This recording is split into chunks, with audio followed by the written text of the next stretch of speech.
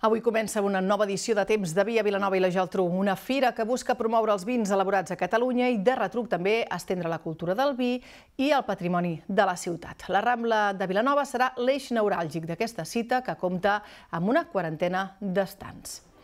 És la dotzena edició de Temps de Vi que obre portes aquesta tarda amb la presència d'una trentena de cellers de pràcticament totes les denominacions d'origen catalanes. Tampoc hi faltaran, com és habitual, els tastos amb vaixell, que ja són un segell distintiu d'aquesta fira, i com a novetat, un espai gastronòmic de més de 100 metres quadrats on poden marinar els vins.